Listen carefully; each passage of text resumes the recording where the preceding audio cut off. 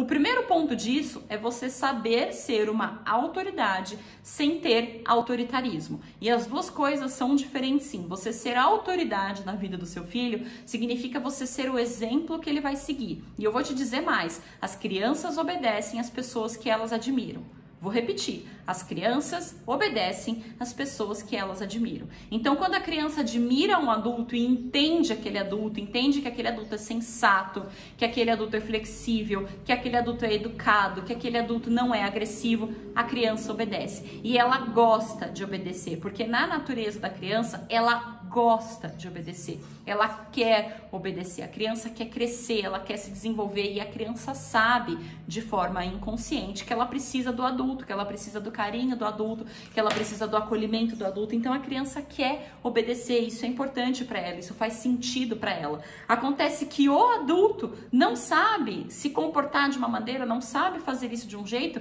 que a criança se sinta confortável para obedecê-lo. Então você tem que ter autoridade com seus filhos no sentido de ser uma figura que seus filhos possam admirar. Mas você não pode ser autoritário, de autoritarismo. Por quê? Porque uma pessoa que é autoritária é aquela pessoa que fica mandando, que fica gritando, que abusa, que agride. E isso não é interessante, isso é totalmente o oposto do que eu tô te propondo aqui. Você tem que ser uma pessoa de respeito, você tem que ser uma pessoa que o seu filho olha e fala: não, aquela pessoa entende, aquela pessoa eu admiro, para que ele queira seguir os seus passos. Eu tenho um vídeo no YouTube e também no Facebook Facebook em que eu falo como ter autoridade com os filhos. Se você quiser se aprofundar nessa questão específica, procura por esse vídeo disponível no meu canal no YouTube e no Facebook, porque eu explico direitinho como é que você faz para ter autoridade com os seus filhos, para fazer os seus filhos te respeitarem sem você precisar usar da agressão, sem você precisar ficar gritando, batendo, colocando de castigo, porque é possível e esse é o primeiro ponto. Se você não for um adulto admirável, se você não for um adulto que o seu filho respeita,